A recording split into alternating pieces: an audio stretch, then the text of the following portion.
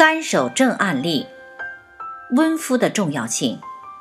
某女士六十岁，双手皮肤干燥、脱皮、龟裂，甚至会有发痒的现象。手掌面的皮肤会愈来愈厚、愈来愈干，严重时只要碰到水都会引起恶化。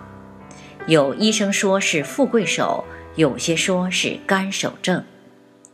曾使用各类药膏、护手产品或乳液，让手部维持湿润，远离或少接触容易诱发富贵手的东西，但是都未见改善。二零一四年十一月十六号，用红豆袋绑在手上温敷，只温敷一天就看到效果，但手上绑住红豆袋容易脱落，不方便。于是改用博维加暖暖贴，二十四小时温敷，前后三天明显改善。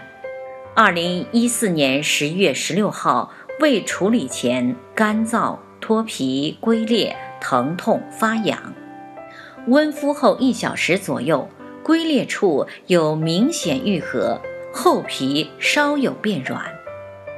红豆带温敷，温敷约三小时。